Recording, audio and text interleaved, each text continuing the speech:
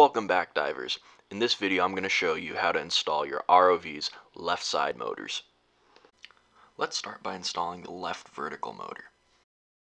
You'll need a motor with a left side propeller, a vertical motor brace, uh, two 632 nuts, and two 632 1 half inch machine screws. Grab the vertical motor leads and feed them through that slot inside of the vertical motor holder. As you pull the leads through, uh, push the vertical motor until it's flush inside of the motor mount. Next, we'll have to hold the motor in place with the vertical motor brace. Take your brace and slide it between the end of the motor housing and the propeller. Then slide it downwards until it's flush against the base of the motor. Check that the holes on the brace line up with the holes on the left side rail. Now thread a 632 machine screw through the brace and into the left side rail. Then grab another machine screw and repeat the process for the remaining hole on your motor brace.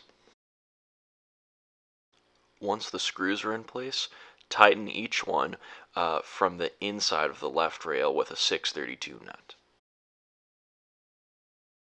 Now it's time to install the left horizontal motor. We'll need another left side motor, two more 632 half inch screws, uh, two more 632 nuts, and a left horizontal motor brace. So just like we did on the vertical motor, we'll take these leads and feed them through the slot on the inside of the motor holder.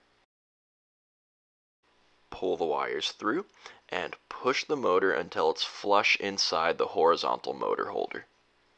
Then take your left horizontal brace and place it flush against the motor and the left rail.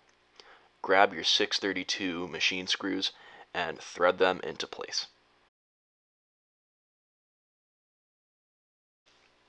From the inside of the left rail, tighten up the screws using 632 nuts. If you don't feel like hand tight quite does the job, you can tighten them a little bit further with a screwdriver. Nice work. Your left side motors are now installed, and next we'll do the right side motors.